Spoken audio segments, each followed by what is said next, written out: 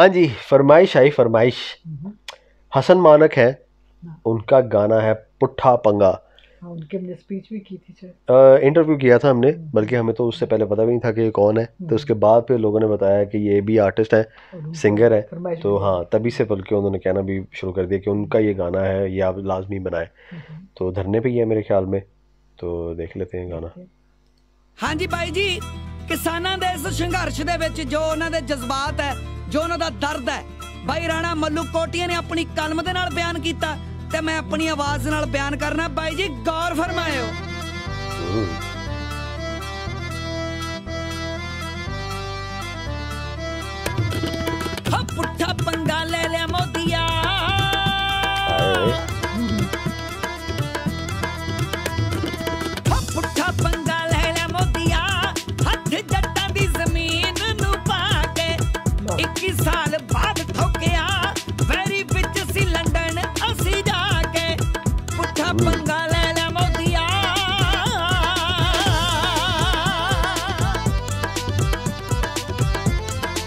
जी कितना अच्छा राज तैथा खोखा हाय होने नहीं रखना तो होई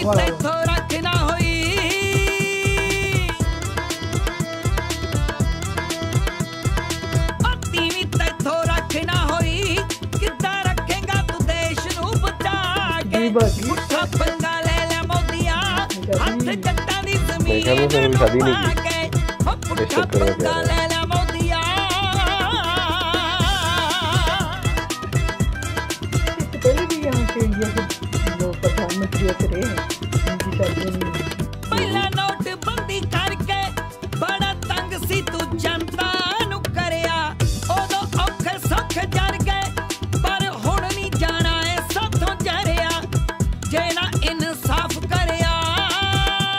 तो मैं सुना था कि जो नोटबंदी था वो तो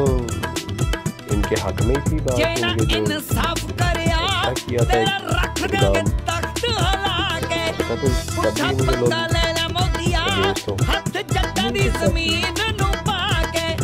तो तो मनी लॉन्ड्रिंग के चक्कर में जो तो तो तो करप्शन को बढ़ाने के लिए किया था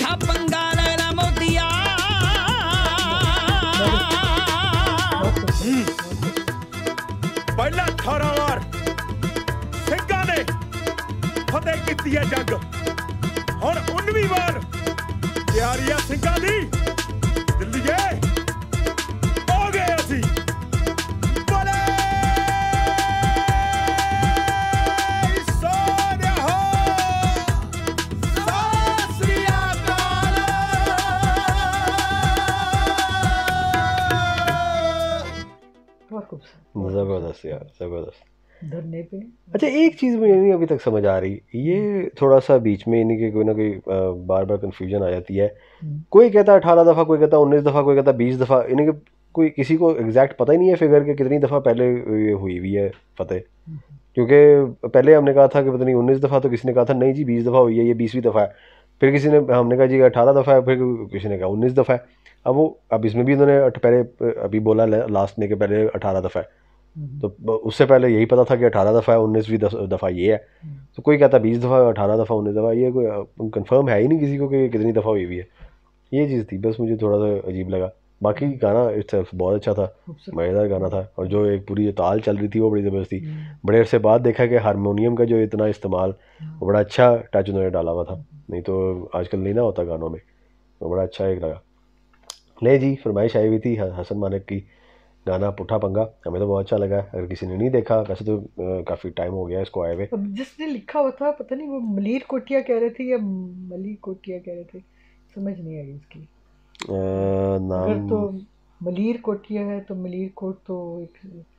नाम है ना एक हुँ, हम्म, हम्म, हम्म। मलीर कोटिया लिखा हुआ है नहीं नाम आ, आ, जिसने लिखा मल्लू पोटिया अच्छा, राना मल्लू पोटिया इनका नाम है कोई पोतिया या पो, पोटिया जो भी तो जिन्होंने लिखा हुआ है हम्म, हम्म। अच्छा लिखा हुआ था गाया भी अच्छा अच्छा ये बात नहीं समझ आ रही कि इसमें ये भी लिखा हुआ है कि ओरिजिनल सिंगर हम्म, तो इससे पहले किसी ने गाया होगा ये गाना शायद ये दोबारा गाया गया जब ओरिजिनल सिंगर कहा तो ओरिजिनल यही होंगे पहले दफ़ा तो इन्होंने गाया होगा नहीं जो लिखा हुआ मैं पढ़ रहा हूँ वो ये लिखा हुआ है कि original singer and lyrics hmm. तो वो है राना मल्लू पोतिया अच्छा ठीक है जी ओरिजिनल हम्म। कंपोजिशन जो है वो उस्ताद कुलदीप मानक अच्छा ये मुझे लगता है कि वो लिखा हुआ है ब्रैकेट्स में हसन मानक के वो ग्रैंड फादर अच्छा पहले उन्होंने गाया हाँ यही गाना मेरे ख्याल में हाँ अच्छा। हम्म। अब इन्होंने गाया हाँ अच्छा, ऐसा कुछ लग रहा है मुझे बाकी ये बता दें कि जो भी इसकी सच्चाई है क्या है क्या नहीं लेकिन उनके ग्रैंडफादर ने इसे धरने पे लिखा था क्योंकि इसमें तो मोदी के सारे बातें बताई गई दोबारा उन्होंने क्या होगा क्योंकि अब समझ नहीं आ रही ना एक गाना एक और लिखा बोल बदले हैं उसमें ऐसा कुछ लग रहा है क्योंकि हाँ, नए चेंज किए हैं हाँ ऐसे ही लग रहा है क्योंकि वो गाना था सिचुएशन पे हाँ। अखा च नजायज विकदी हम्म। ठीक है जी ये हम्म। असल गाना था मेरे ख्याल में उस, जिसकी तर्ज पे उन्होंने हाँ, ये बना दिया ये लग रहा है मुझे हाँ, ऐसा कुछ इस तरह ही ऐसा ही कुछ शक उस, हो उसी रहा म्यूजिक पे ना हाँ। ऐसे किया खूबसूरत अच्छा हम्म। हम्म। मैं इसी वजह से कह रहा था कि ये जो आजकल का है ही नहीं नहीं ये आजकल की वो तर्ज ही नहीं थी आजकल का वो वो ही नहीं थे ये हारमोनियम हाँ बजना जो है वो वो तो आजकल होता ही नहीं इस्तेमाल बहरहाल बहुत ज़बरदस्त बाकी जो रही सही कसर है वो आप बता दें हम्म। कि असलियत क्या है इसके अंदर हम्म। और देखें इंजॉय करें मिलते हैं अगली वीडियो में तब तक के लिए अपना ख्याल रखें दुआ में याद रखें अल्लाह हाफ